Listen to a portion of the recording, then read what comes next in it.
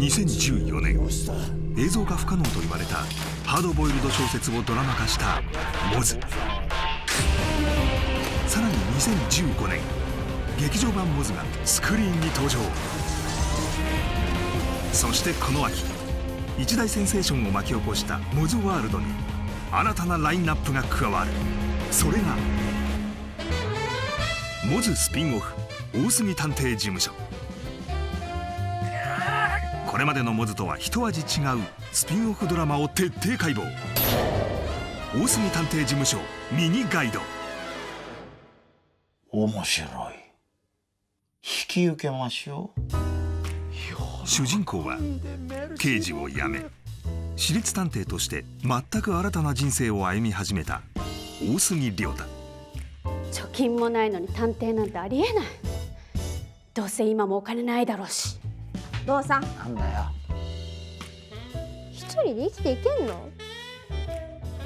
探偵事務所に持ち込まれたさまざまな依頼を交番勤務の警察官成宮と共に解決へと導いていく。殺さないで。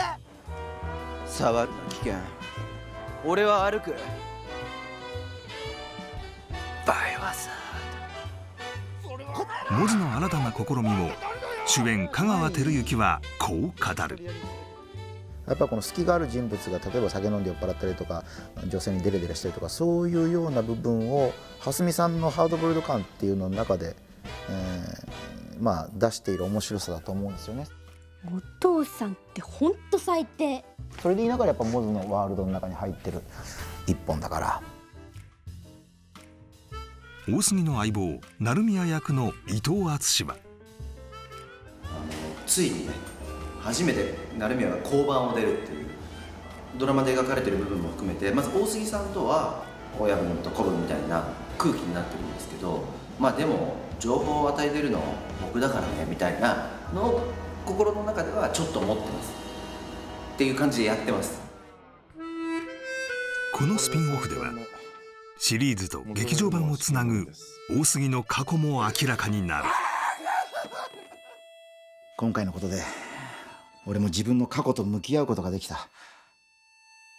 大杉が刑事を辞めた理由。そこには驚愕の事実が隠されていた。完全オリジナルストーリーに加え新たに登場するキャストたちがモズの世界観に彩りを加える。今回のスピンオフでは砕かれた過去編と美しき標的編の2本を放送。まずは砕かれた過去編。物語は探偵事務所に持ち込まれたある不可解な依頼から始まる。あおおお天気お姉さんじゃ。あ毎日見てますよ。依頼主はお天気キャスターのリサ依頼内容は妹を探してほしいんです。ああ妹さん。リナと私は双子なんです。妹は18年前に死んでるんです。依頼内容は死んだはずの妹を探してほしいという難題だった。ミステリーハンターと呼ばれる私が引き受けるしかありませんね高額な報酬に目がくらんだ大杉は相棒の成宮と共に調査に乗り出す。危険な実験をしていた可能性もあるわけだね。調査を進めるうちに双子の妹リナには恐るべき秘密があることを突き止める。何これ。一方でフラッシュバックしていく大杉の過去。それこそが大杉が刑事を辞めることになった。苦い思い出だった。会社で5人目ですね。新海博美の模倣犯だな。これです、大杉は当時可愛がっていた後輩三島と共に連続殺人の容疑者佐藤を追っていた。しかしその三島に悲劇が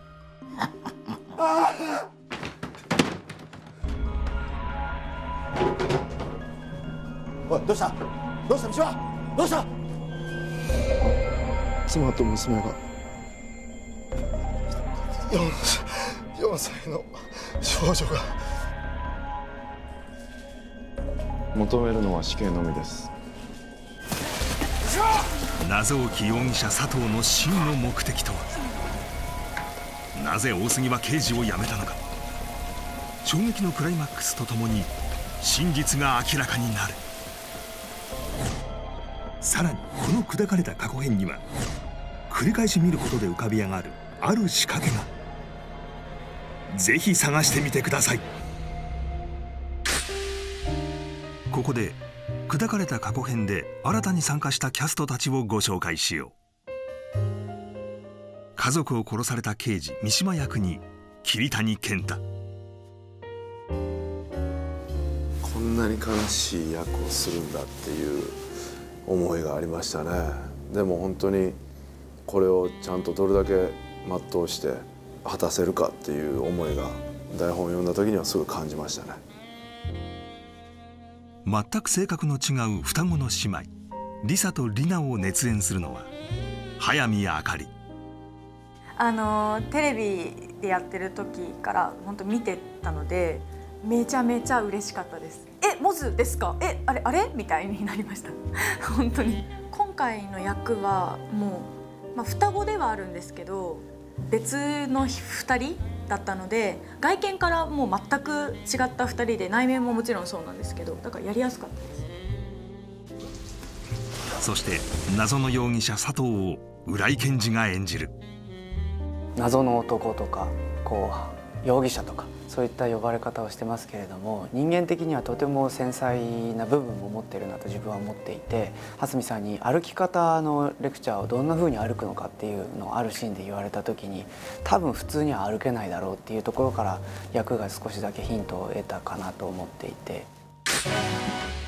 そしてもう一つのスピンオフが美しき標的編。ああれこれこの人女女優さんの白石ゆりよ。はあどうして芸能人が？実はあなたにボディーガードをしてほしいの。ボディーガード？飯島直子扮する大物女優ゆり。何者かに命を狙われているのだという。身勝手な女たちに振り回されながらも奮闘する大杉の活躍に注目